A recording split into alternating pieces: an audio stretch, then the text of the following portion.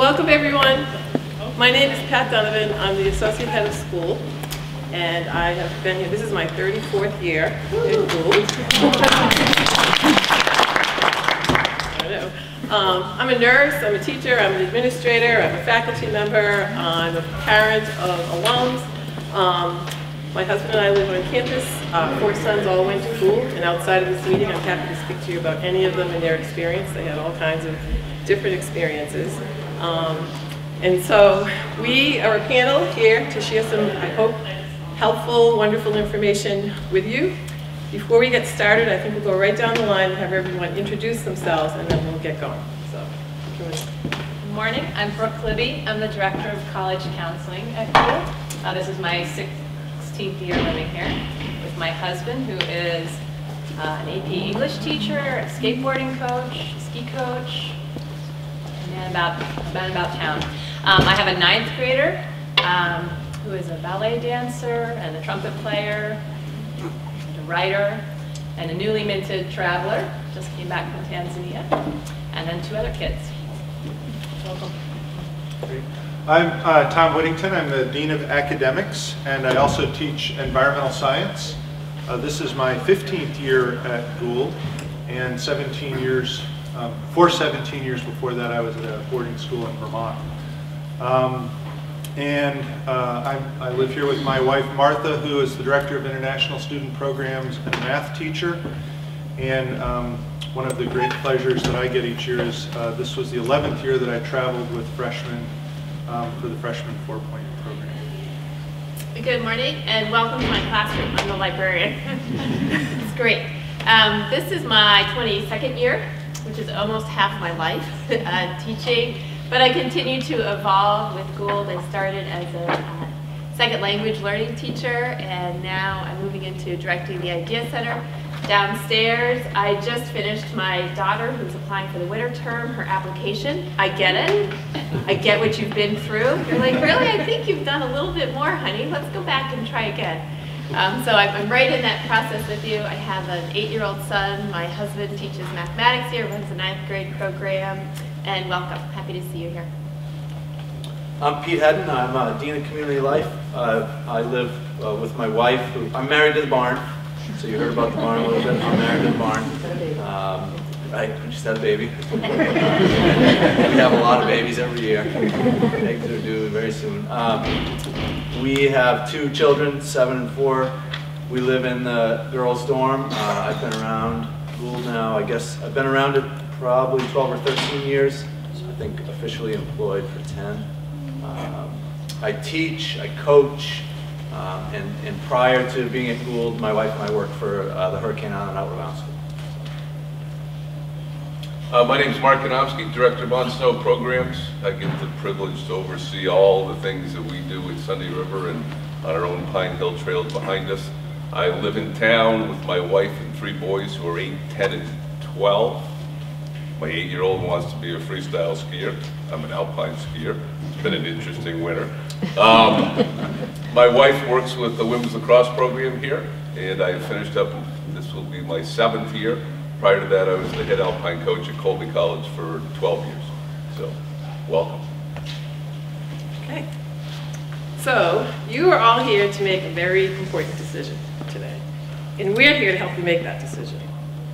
We're also here because we hope that you will join us in our community, that your kids will come to Gould. Um, as you know, Gould is a really small community with a really big, robust um, program. Lots of different programs that we offer, lots of ways for your kids to grow and stretch and explore, pursue their passions, um, have some fun along the way. And so uh, we're all here, we all work here because we love Gould. Um, we love the community, we love the programs that we offer, and we especially love the people who are here. And I think that, you know, watching that assembly this morning, oh, we love our students, we're so proud of them. Um, it's just great. So this morning we decided to, um, we, we thought it would make sense to zoom in on some of our programs, and I want to be sure to say that these are some of our key programs, but we have so many more, and I really encourage you to, to dig deep and think about your child, think about what your child's interested in, loves, wants to do, wants to pursue, And um, I bet we have something um, for your child there. So um, why don't we just get started? All right, I have notes because uh, I'm the extrovert, one of the extroverts of the group, and um, Mark said, "Wow, you have notes." I said, "Well, if I don't have them, I'm just going to keep going." So I'm going to try to stick to it. Um, as Pat said, um, it, it's this community is about people. Uh, it, you know, the name is Gould Academy, but the, the folks that make up Gould Academy are the ones that are the most important. Uh, the, the thing that I want to share with you as the Dean of Community Life is that we will take care of your kid. And when I say take care of them, I don't mean when they fall down and bump their knee, they're going to, you know, get a Band-Aid. Yes, they probably will. Uh, but we're going to do the things that stretch.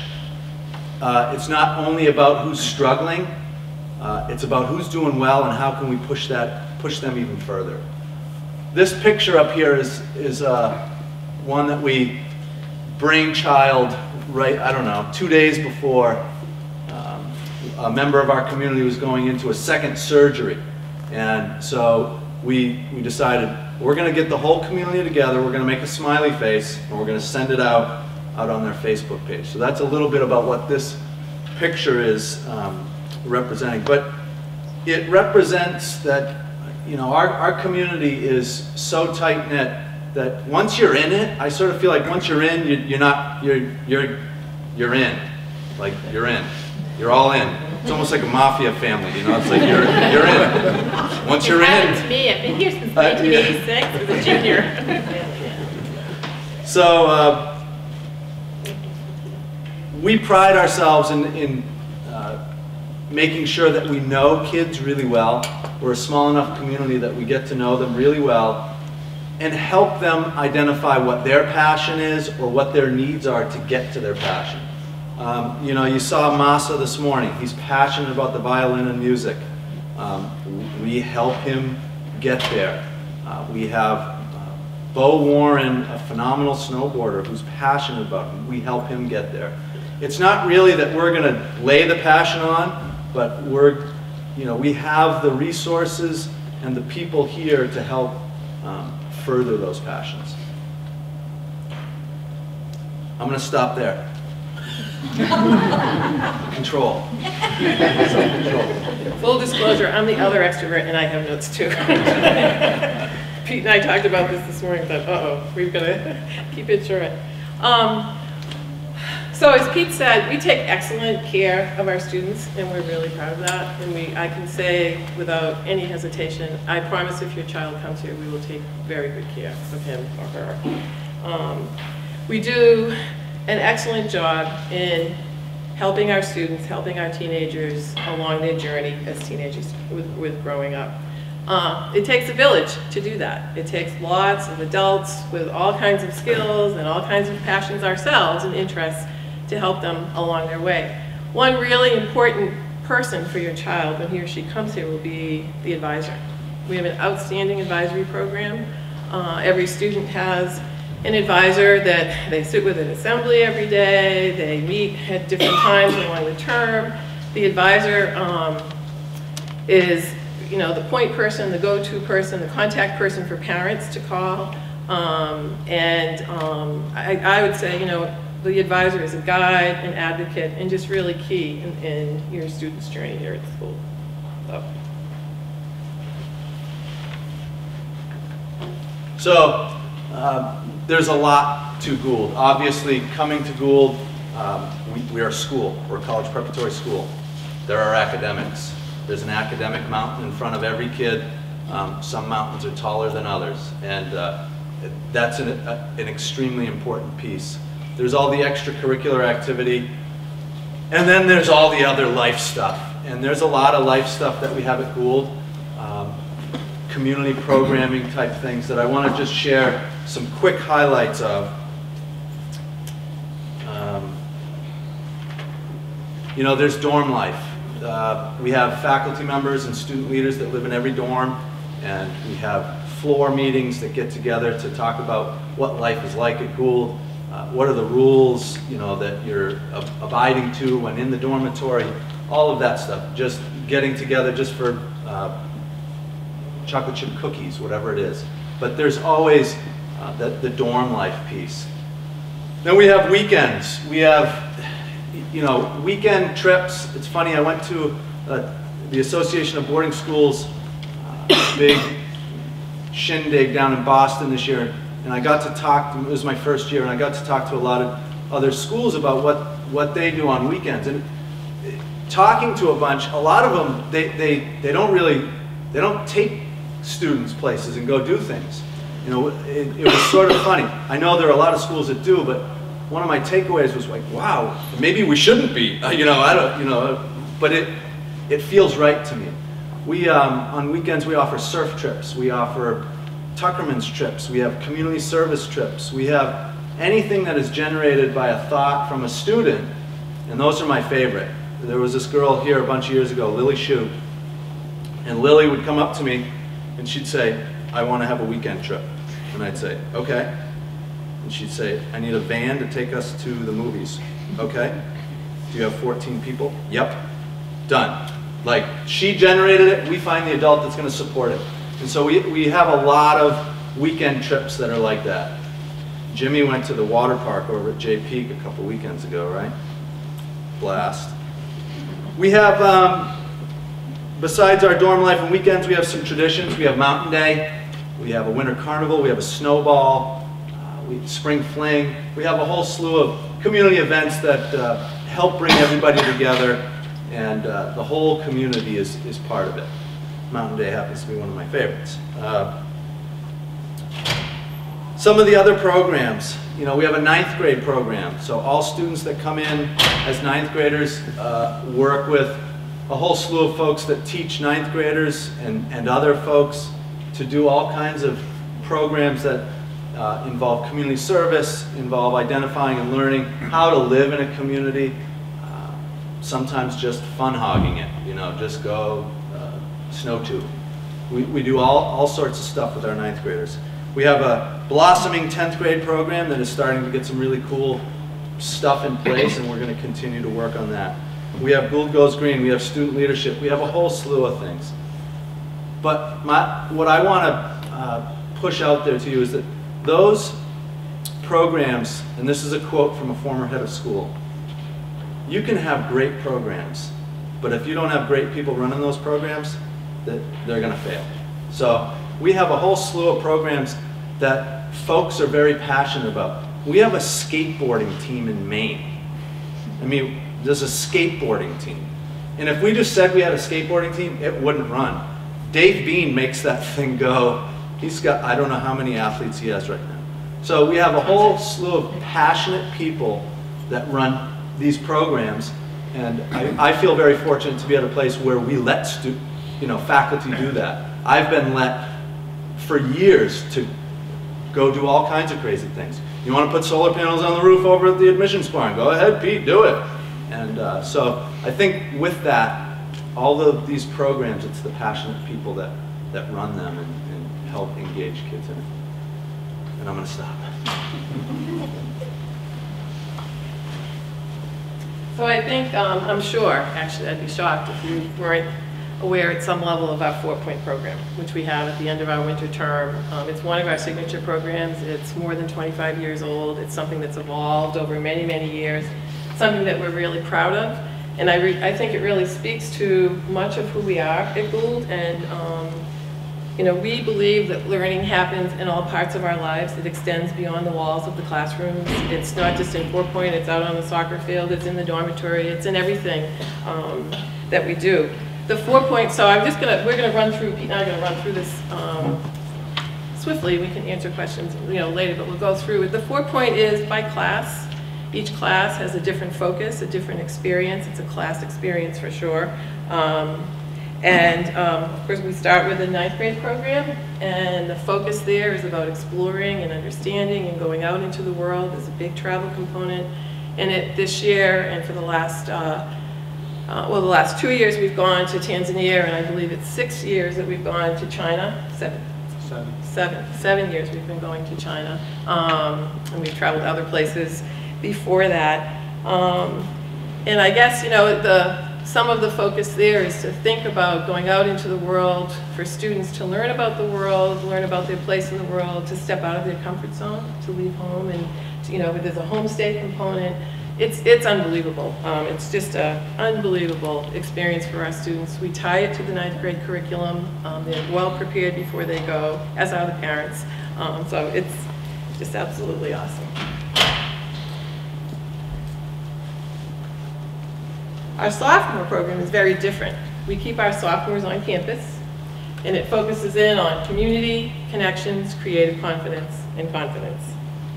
They're here on campus for um, eight days, and they have a day of wellness, a day of fun, a day of community service, and then we bring in several visiting artists to come in and do all kinds of artist workshops where the kids immerse themselves in those. They sign up for two different ones. Um, this year we had basket making, um, we had um, fabric rework, reworking, um, we had circus uh, skills, we had metalwork, woodwork, improvisational theater, cooking, um, pretty amazing. And I think one of the um, wonderful, wonderful things this year, we've always had one or two alums. This year we've had four alums come back who are artists who worked with our students. So just a really, really awesome program. I put this slide together. Many hands, many hearts, many minds, and many moments. It's just, it's pretty cool. Uh, junior four point happens to be my favorite. and uh, we take all of our juniors in the woods for nine days in the winter. It's not about trying to teach them how to become mountaineers or winter expeditioners, though some do. Uh, Josh Wharton, who happens to be a Gould alum, who if any of you know of him, he's only like the world's best climber right now. If you open the Patagonia Pro catalog, he's the first picture right there. He's got this great quote about bivvying on a foot and a half ledge or something. He gets paid by Patagonia to go climb mountains. Um, so that does happen, not to all kids. Most kids are more of the Mark Twain. You know, I'm partially glad I've done it, and I'm mostly glad I'll never have to do it again. Um, but it, but the, the, goal of the Junior Four Point is, is really to, to get the group together. It's their uh, sort of rite of passage into becoming a senior. Uh, it also strips them of all the technology and all the the familiar things. And you know, you can't fake being in the woods for nine days. You might be able to go out for a weekend and fake it, but you can't really fake it for nine days. So uh, that's that's our junior point program. I had a little March Madness going in there. You like that? That was sort of. That, I was on that trip. That was a little bit of a march, and there was some madness. uh, senior four point is a chance for students to explore what they want. You know, I think the original or senior four point was sort of like a job shadow.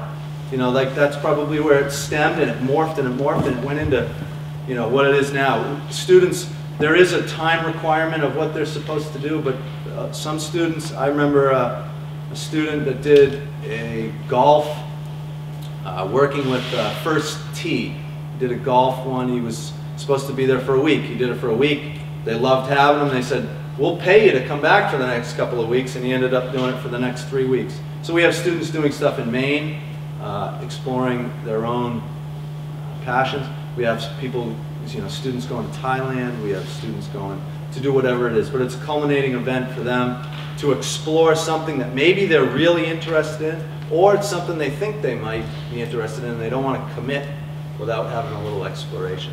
And so it's self-designed. Tomorrow night we have a great uh, dinner for all the seniors that have done their four point, and there'll be presentations and faculty members will listen to it. So that's senior four point. Great. Um, so I'm going to talk a little bit about academic program, and I'm just going to start with um, some places are program places and they happen to have people, and some people, uh, some places are people places and they happen to have program. I think we're a people place that happens to have a great program. And um, I think you'll see that again and again uh, today and probably in your visits. And for me, there's one thing that's been central to the classroom at Gould Academy since 1836, and I can't imagine that it's ever going to change. And that is that the academic experience is about the relationship between a great teacher an engaged student, and big ideas. And we see that again and again and again in the classrooms. And even as the ideas change, even as the access to information changes, that relationship between teacher, student, and idea um, is going to be at the core of everything we do um, in the classroom, outside of the classroom, um, at, at Gould Academy. And I'm just going to kind of touch on a few things. I couldn't possibly give you a complete picture of the Gould Academy academic experience in a few minutes. So I'm going to touch on some things and then um, at the end of all of this, uh, you're welcome to dig in a little more and ask questions. Um, in this age, learning is about doing. Um, back when I was a kid, I know, hard to believe, um, you know, it was really about knowing. What, what did you know? What didn't you know? Well, the access to information, we all know that is, um, is unlimited. We can get whatever information it is that we're looking for pretty instantly. Um, and I was reminded of that this morning when um, in my class I said, who's the chief financial officer at Gould Academy? Not someone that most of our students interact with on a daily basis and they're all scratching their heads. And one student um, did click, click, click, click. It's Beth McWilliams, just like that. Could answer a question that they had never even imagined that they had. So, it, so learning is not about um, finding information. It is about knowing which information is relevant and which information is reliable, but mostly it's about once you have reliable, relevant information, what do you do with it? How can you use it to do something, to solve problems, to, um, to analyze what's happening in the Crimea right now? Um, you know, finding out what the facts are, whatever that means, um, that's pretty easy, but understanding the relationships and what it means and what it means for us um, halfway around the world, that's pretty interesting stuff. So, um, so here learning is about doing, not just knowing. Um, learning is about connections and collaborations, and this is one that we're pretty excited to announce this year.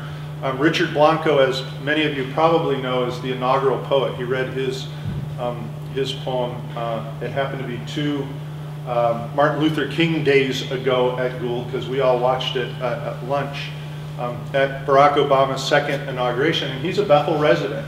And, um, and so we have a collaboration with him that I think kind of speaks to our connections to community and our connections to the greater intellectual world, where he invites writers to stay on his property and to work on their craft, but also to work with our students to understand about writing and the writing process and what it means to be a writer. And that's only one example. In the winter, we had um, award-winning filmmaker Ross Kauffman here, documentary um, uh, filmmaker who worked with our students and showed his work and talked about his work and helped them understand the craft of filmmaking. Um, as you heard in the four point, we have um, visiting artists and um, it, it, goes across, uh, across all of the disciplines. We've, we've just established a relationship with the Bethel Historical Society um, to, uh, to get a grant to work with them. Um, we have a student who just won the Maine State uh, Science Fair and is going to the, internet, uh, to the Intel uh, International Science Fair in California in May. And uh, his work was um, he was able to do what he was able to do largely because of the connections that he established with professional scientists who helped him advance his understanding about uh, the issues that he was digging into.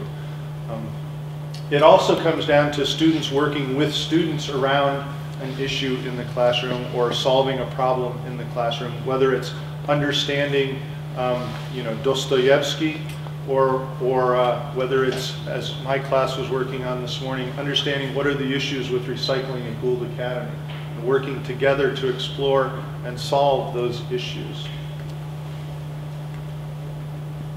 Which button? Yeah, not working.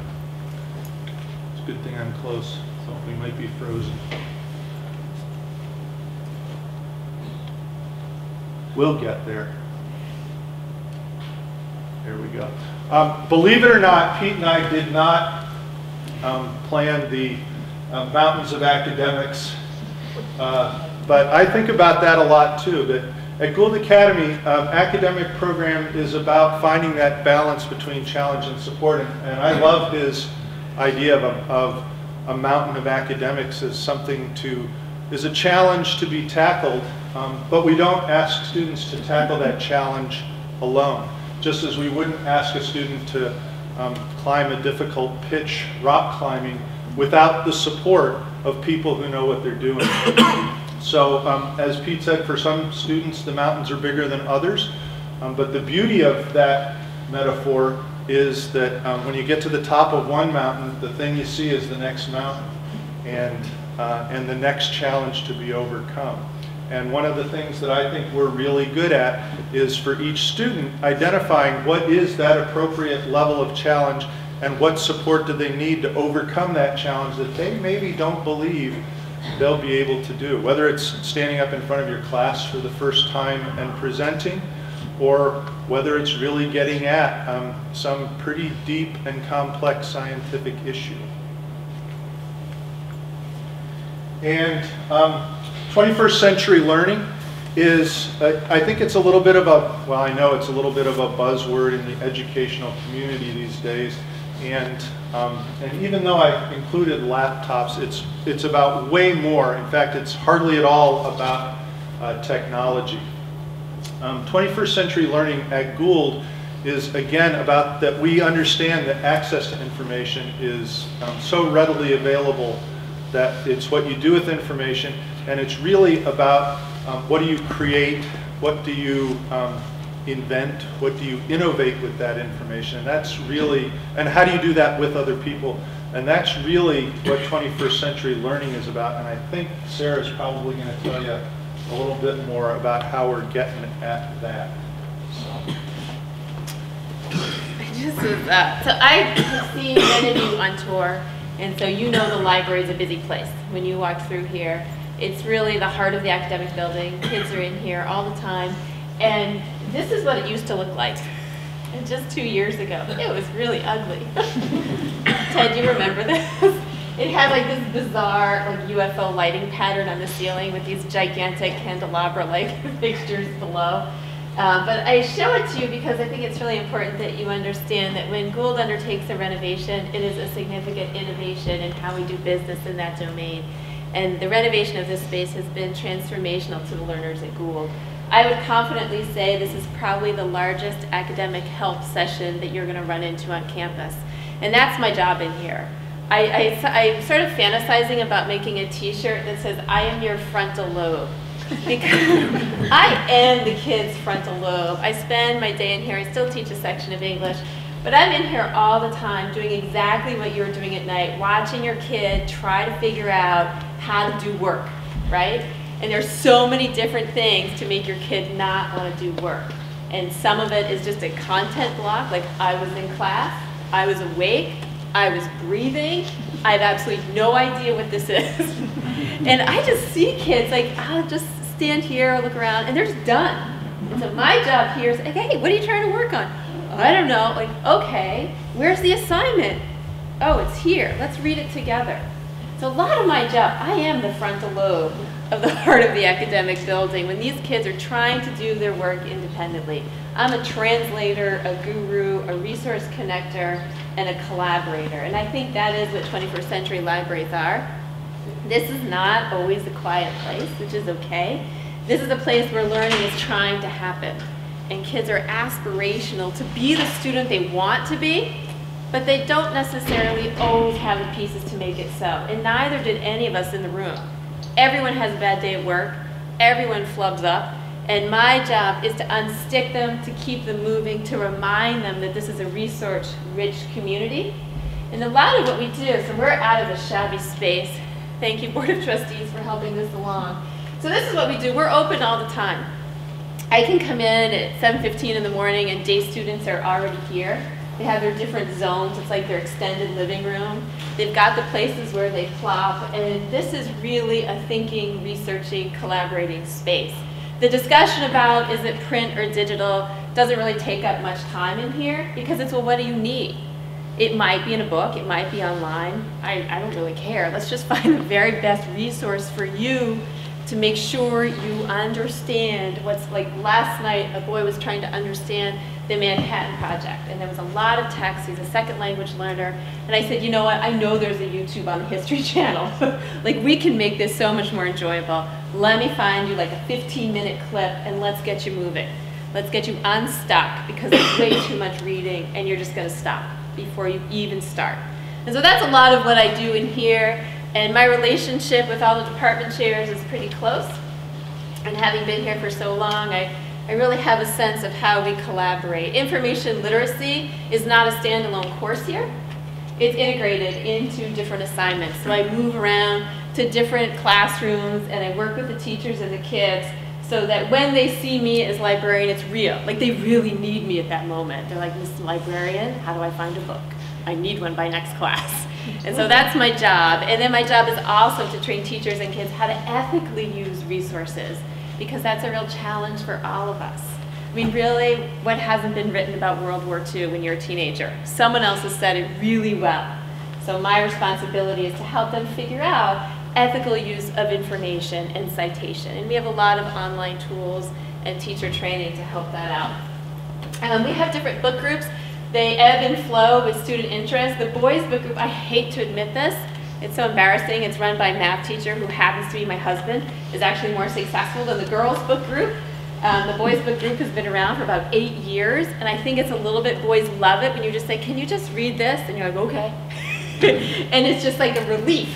Someone recognized me and I'm doing it. The girls, we kind of just like doing our own reading. But we get together, we talk about different groups. Right now, a student's in charge of it, Melissa Saad for the girls group, and she's got us dialed in for next Wednesday. For underclassmen, we actually require kids to come in here for study hall. And the reason we do that is because they need to see what study hall looks like. If they just go back into their room and we don't see them, you know exactly what's going to happen. It's when you open your kid's room at your house and they like shut the computer really quickly and you're like, yeah, you were playing games, weren't you? so we make them come in here. We always have an adult that helps them out. That sort of their job is to be the frontal lobe. You know, what do you have for homework? Show me what you've done. We just uh, we like you, but we don't believe you. Like actually show me the work that you, can, you know, that kind of fun stuff. That becomes my job, not your job. It's delightful. Um, we have a lot of databases. Uh, Maine has a really great relationship with the University of Maine that they give us access to everything they have. It's almost too much information. We have the New York Times, the Wall Street Journal. We have an amazing magazine room, periodicals. I, all of you should go in there and just sit down and you open Harper's and be like, this is amazing. And then there's the New York Times, and then there's a bicycling magazine. Who cares about my kid? I'm coming. Uh, so that's the library. It is a great place. It's really where they learn to be aspirational, and I'm really proud that when they leave the library, they've had a good experience with libraries. Because really, when you go to college and you're stuck, you find a friendly librarian, because that person is going to save you. And I think they do have a really positive experience in here. So the next thing is really exciting. So we've had um, what I've been calling a startup makerspace in this room. And you've walked by it, you've seen it on tour, the 3D printers are whizzing and and making things. And, and we really are taking a bold step in, um, um, I hope I'm not spoiling thunder, but we're going forward and we're renovating the lower level. And that's why I really want you to see this. Because this is what this was three years ago, and this is what it is now, and it's been a game changer for the program. So we're diving right in, and we're changing the game again. This startup has been very lean, but it's been incredibly successful. We're figuring out how to integrate it into our classes, and students are beginning to bust down the door. It was great. This girl, Melissa Saad, she's um, really passionate about Goes Green, our environmental club. She was tearing at her this morning. She's like, oh, I forgot to make a poster. I have to make a poster. I'm like, okay, you're ready? And I gave her a crash course in InDesign and how to make a poster. And she has her first prototype. But it's amazing. Kids can walk in. We have a full creative suite of products and we've got the right tools that kids can actually make something. Uh, yesterday we had five kids who were making these beautiful paper cut lights and they were learning how to solder and then during the day it was really funny. I was watching Sawyer Harkins and Molly Bruce and Molly just wants the paper lantern and the beautiful design. Sawyer could care less about the paper lantern. He just wants to solder and do the electronics. And I was like, I have a great idea. Molly, you design it. Sawyer, you do the electronics. They're like, oh, that's we're lucky. We have a maker in residence, Mr. Ayad. He can, he's like, you know, MacGyver. We're all old enough. We all watch MacGyver. We can admit it. We're friendly. He is MacGyver. He's amazing. Like with some duct tape and a soldering iron, he can just do about anything. So we've been making uh, license plate guitars, lights. Kids have made stickers. Kids are. We've had a kid develop a quadcopter. We've helped Dimitri with his science project. I mean, we're going full bore into this territory that's very, very new in schools. And it's okay with us. We're going to have a brand new facility that's rooted in not just the MacGyver gadgetry, but also really deeply rooted in design thinking. I spend a lot of my time thinking about creativity and from where do ideas come and why does it matter. I'm interested if a kid wants to make a cell phone case, that's great, but why? You know, in what way does it benefit you or someone else? Uh, Brooke Libby, College Counseling, she and I went down um, to Wentworth uh, Polytech and we sat in on an admissions, co- Worcester Polytech, uh, sat in on an admissions committee reading kids' folders for admission. And explicitly, these were folders, kids who opted not to produce their standardized test scores. These were kids who had done a project. And they wanted to say, you know, admit me, this is the project work I've done. Something with engineering, something with building, making, doing. And what was a very interesting differential, lots of kids can make stuff if they've got time and resources. Very few kids can make stuff that transforms a community or makes a positive impact. and so I'm very clear with kids, let's invest the time, but why are you really doing this? Truly. How can we make it something more than you just have a tchotchke? I just don't want you to have a trophy. I want you to create something that has an impact. So let's really think about why you want to do it and why do you need to invest that time. And so that moves the makerspace beyond just making into really doing and doing in ways that transform. It could be a small community. I'm not asking for like urban impact, but it could be something very small. I think about what's happening in Mr. Whittington's class with environmental science. In what ways can we move recycling forward in Gould? What's not working right now? And it may be something we need to make in there very largely. It might just be a mind shift. and so that's the responsibility I have, and I think um, we are moving in a very exciting direction. And literally, we have kids. Dimitri's a champ. He comes into the Idea Center to work on his quite amazing revolutionary project, very often in his ski gear and ski suit. Good morning. Well, being the introvert of the group, I have a number of videos to show you with sound, but we don't have any sound. So, what I will start with is, which one use?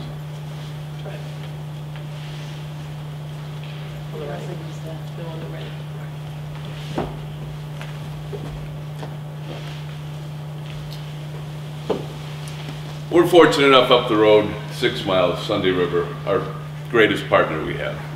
It is not all about competition. We have a large number of kids who self-identify themselves as alpine, freestyle, snowboard, competitive kids, travel the world. They'll travel to Chile, they'll travel to New Zealand. We've had Bo Warren just returned from the uh, World Junior Snowboard Championships where he finished 10th. Last year, Riley McDonough went to the uh, World Junior Free Ride Championships. So there are some high-level athletes, but it's also about the other 150 kids that go to the mountain every day. Whether they go in the Rug Rat program, if you want to slide in. Whether they go to the Rug Rat program where they have the opportunity to teach our lo- local elementary kids uh, the chance to ski and snowboard, whether it's in our ski patrol program, which is upwards of, what, 25 feet? 25 uh, students who their winter on snow is working towards gaining their ski patrol jacket, whether it's a group of students who have never been on snow or skis or a snowboard. There's a group of kids that learn how to ski. There's a group of kids who are competitive in a prep school level, so their season really starts around Christmas and ends when the, the four-point world starts up. Um, there's a group that works with Maine Adaptive, uh, that work with our handicapped uh, athletes at the mountain. So there are lots of opportunities, and every year, I'm going to say we're close to 220 of these students go to the mountain every day. So it is really a piece of this campus. When those buses pull on the campus, Dana Bullen, the general manager, has always talked about, it's a Wednesday, it's 20 below, and here come 220 Gould students who are just ecstatic to be there, most of them. 20 below doesn't always work. Um, But it's a pretty neat learning environment that we have. And like I said, there are students who are up there and their goal is US ski team, US snowboard team, world championships. We have students like that. We also have students that just love to be there. I tried to, see what we have here. This is a clip of our Rugrat program from Use the cursor over there to get that started. uh, the group that teaches our local elementary kids.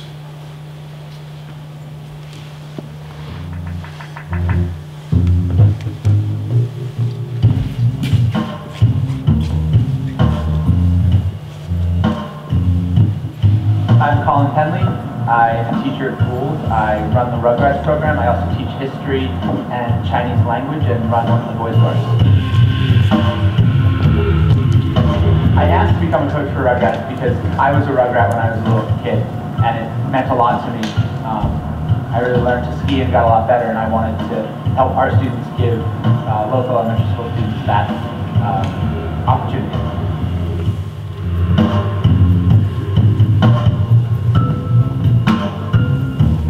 Get here a little bit before the elementary school kids. We get ourselves set up as the elementary school students come in. Our students meet them. We go down, get our rental equipment. We have every level from just starting out on the magic carpet all the way up through silvers who are skiing white heat and all of the double black diamonds. How do you guys like Rugrats?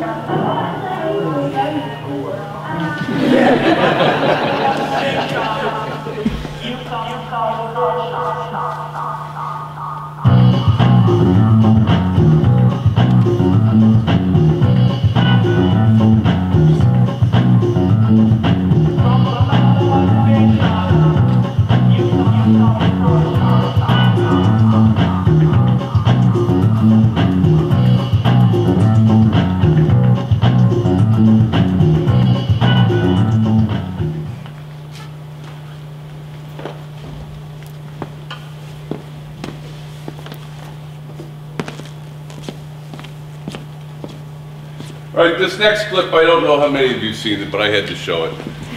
Our head alpine coach, we're always trying to figure out how to tell the story of what we do. Okay, we all go to the mountain, we, the kids do all these great things. We're in Bethel, Maine, we're at Sunday River, we talk about what's the story. So Coach Samard came up with this brilliant idea that every Wednesday he was gonna do a blog post of Coffee with Coach. It became a little obsessive and it took a ton of time every week, but this is one of the last ones that gives you an example of how many different places the competitive alpine kids have to go.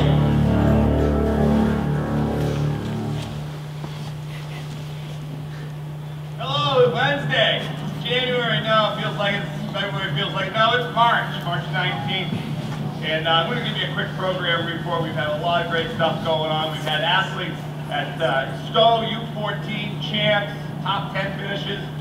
At Whiteface U16's top 10 finishes. The uh, U16 finals, top 10 finishes. U18 champs, top 10 finishes uh, qualifiers to U16 nationals and U18 nationals.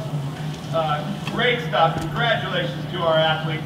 And we're still going strong. We've got Cannon Wildcat this weekend. We've got athletes at Killington, Mount Tremblant, Lollapalooza downhill. A lot going on. Congratulations to our athletes. Let's keep up the good work. We'll see you next week.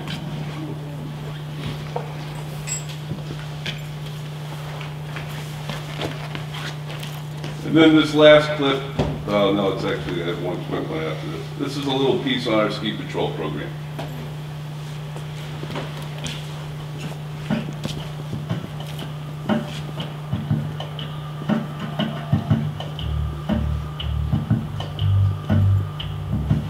I'm Doug Alford, and I'm the director of the Gould Academy Ski Patrol Program. What does an average day in Gould Ski Patrol program look like? Well, the cool thing about it is there isn't an average day. We do an awful lot of things, and we do everything from maintenance on the mountain, making sure it's safe, um, to marking hazards, to um, assisting with mountain operations, lift lines moving, to responding to real injured people on the mountain, to training for those injuries, to learning how to run toboggans, how we transport people down the mountain. What are some different methods of training? Um, it's, it's pretty hands-on, we do a lot of hands-on training. Um, one day a week, we have a classroom class called Outdoor Emergency Care, it's put on by the National Institute. And, uh, so that's classroom theory of emergency medicine. And then the rest of the week, we train, um, up on the hill hands-on, we do, uh, scenarios all the time where we simulate an injury and people come down and respond to that injury as if it was somebody that uh, got hurt enough. What are we doing right now? Uh, we're doing a lot of practice codes on one run. What is a practice code entail? Um, someone on the ski patrol, usually when school becomes to be injured, and um, the instructor selects somebody to go and um, test them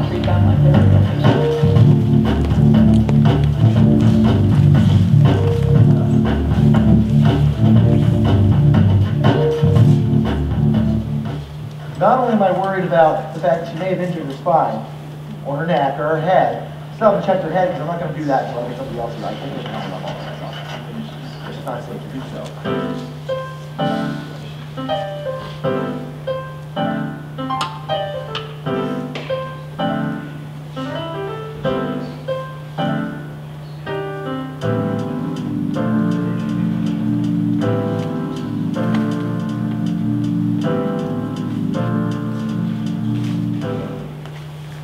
And then I have one little short clip that the freestyle program and snowboard programs have access to a big airbag at the mountain.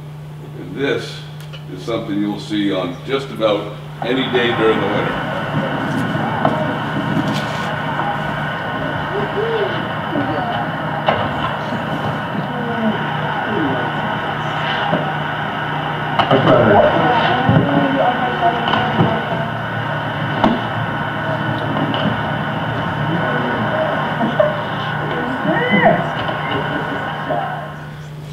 That airbag's a pretty interesting project because we're the only people who use it at the resort.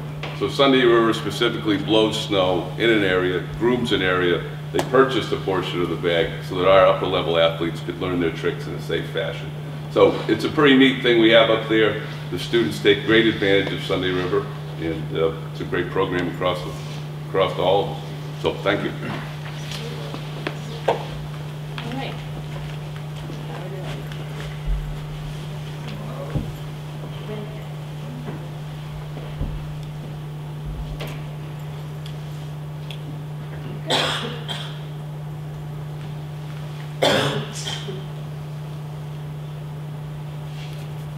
Anyone have a clue?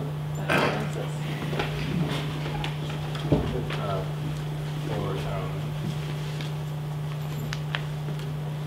Okay, Thank you.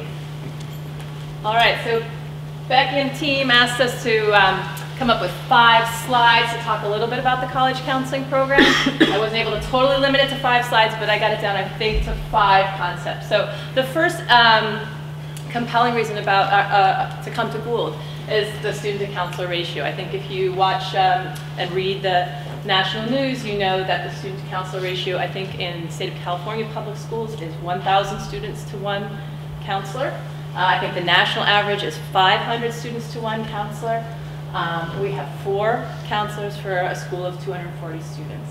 So it's a pretty good 60 to 1 ratio. And in the senior class, when we're working most closely with students, uh, counselor has an average of 20 students in the class. Um, so you get a lot of hands-on, uh, one-on-one attention from your counselor, that one student at a time um, ethos that we've been talking about.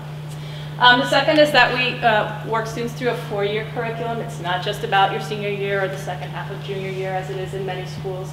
Um, we do talk to ninth graders, um, mostly in ninth grade. It's about exposure to a college preparatory curriculum um, and what the goals are. A lot of it happens just upstairs in the second floor of this building when students start to get into colleges. We put up flags and you hear all the ninth graders kind of humming outside and reading the flags of where our seniors are going to go to school.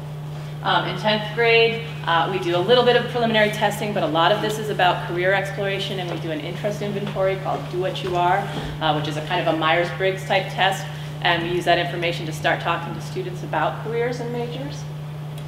Uh, 11th grade, we really get into it with all the stuff that you expect. Taking the PSAT. We have a lot of college uh, admissions representatives who come to campus, um, about 75 to 100 in a given year, and they're here to meet our students and to talk to them, both 11th graders and 12th graders. Um, and then we really start in the second half to start building a college list, working one-on-one with a college counselor. Um, all along the way, building a resume, those kinds of things. And then 12th grade is about applying to college. They get a lot of support on their essays and applications. We're here to read and be an extra set of eyes, so you don't have to. Um, taking their final uh, SATs and ACTs, visiting colleges, interviewing, and then after hitting the submit button, waiting for a little while. But we really walk them through a gra uh, graduated plan over the four years rather than just kind of hit them with it uh, at the end of 11th grade.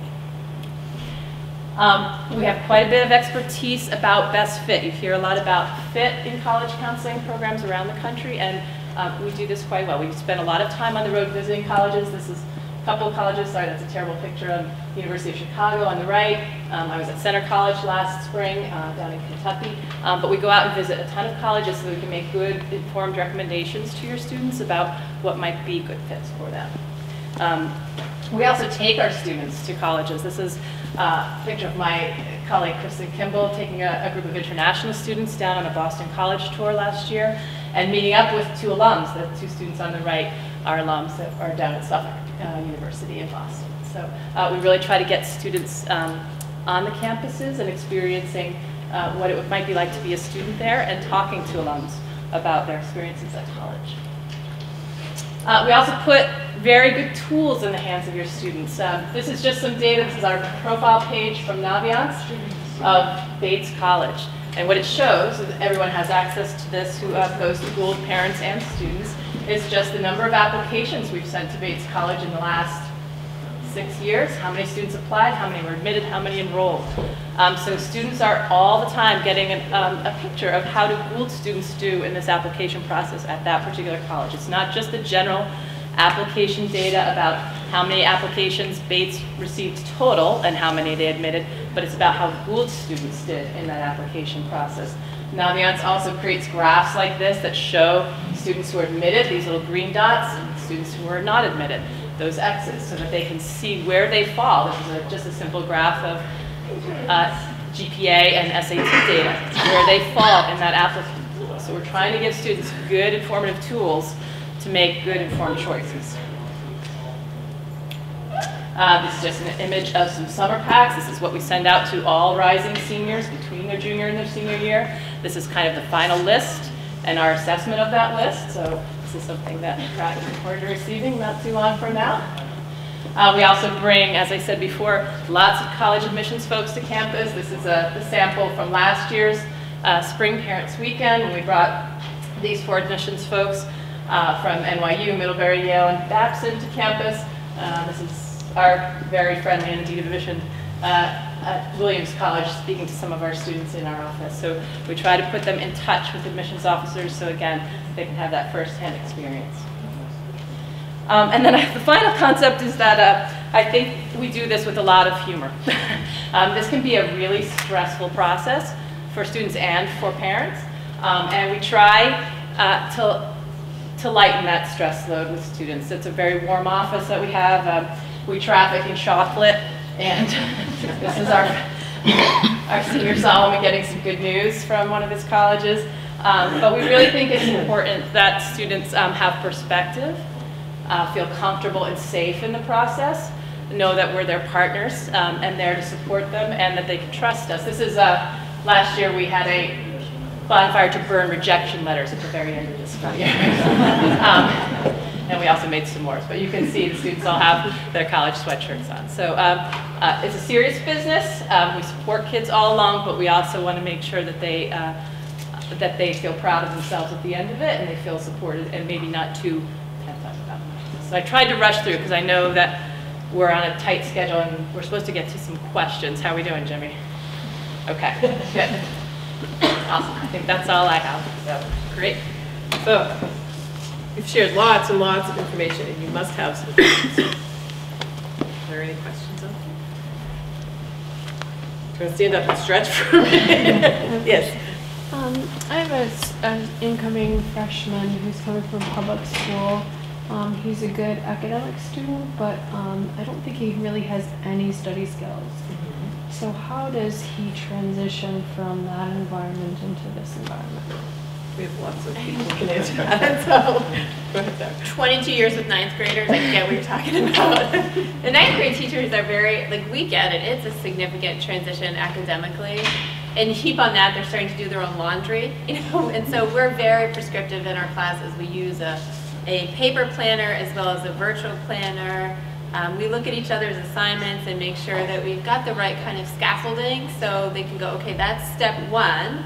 And here's step two. We do a lot of checking in classes to see how their notebooks are arranged, how their files on their screens are organized. So we understand that transition. We, um, honestly, I say it takes about six weeks for kids to really find that rhythm and to understand, you know, this is my strength and this is my challenge in English class and here are the, here are the things this teacher has told me and I can probably like do three of them without even thinking, but these other five I'm still working on. So we understand that study habits, study skills is a significant part of each person's ninth grade curriculum. We get it. We have study hall every night for all of our students, and I'm going to ask Pete to speak about Ordway Study Hall. Yes, so uh, with- within the past couple of years, Sarah, uh, her husband Brett, myself, a a whole slew of us have gotten together and um, organized a a ninth grade study hall. So in Ordway, every night after dinner, dishes are all done, tables are wiped down, the place transforms into a a study hall. Uh, The first six weeks can be, you know, a little bit crazy. Um, uh, We generally, the, the- the faculty that are on duty for the evening in dormitories, if they work with ninth graders, they will go over. Uh, I work with ninth graders, when I'm on uh, Wednesday nights, I zip on over. Sarah's husband Brett, who is the coordinates our ninth grade program, is there every night he's on. So we try to get the ninth grade, you know, faculty there. And uh, after six weeks, i it's amazing the flow that they get into. They realize this is like safe time. Like uh, I'm walking into, my shoulders are gonna come down and I'm gonna just, just me and my work. Because there's a lot of other time that's like bopping around and, you know, video games and going to the IGA and all sports, and there's all that. And it's amazing after six weeks what you can see from the shoulders. They Can you down. translate that into a day student environment? Same offer. Yeah, same Yeah. offer. Yeah, actually. They are welcome to come to that study hall. Yeah, my daughter's a day student, and she Yeah. came to study hall for the first six weeks, I'd say, and now she's studying at home. and She's doing just fine, but she really thought it was useful. If a ninth grade day student is on campus in the evening, that is where they are. We're we're very careful about Yeah, that. thank you. I would say that um, study habits uh, are something that we do a really good job of with our students. And and again, Sarah mentioned the frontal lobe. I mean, we know that our teenagers are on a developmental journey. And what they know as ninth graders uh, is going to change and grow by the time they're seniors. But I, I can tell you from my own four sons, and then from speaking to lots and lots of alums, we prepare them well to study when they get to college. Other questions? Yeah. For non-ninth grade students who are coming here in the middle of high school, how do you integrate them both in the community and in the academics? Because they will have missed some of this. Yeah, we, we start every year with an orientation program. Uh, So our student leaders, our proctors, will show up, they show up, it's about five days before anybody else gets back, including faculty. Uh, And, and they work with some of the faculty to plan the year out, plan some quick things, and then plan out an orientation trip.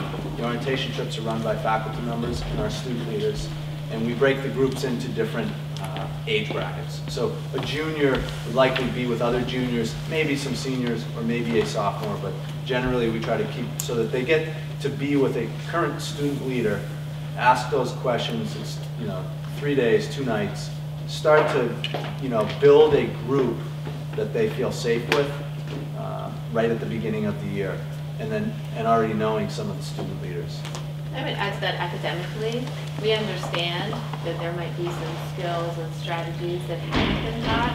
And so, um, for example, in the humanities classes, we really treat that first half of the first term like a, a refresher for everyone.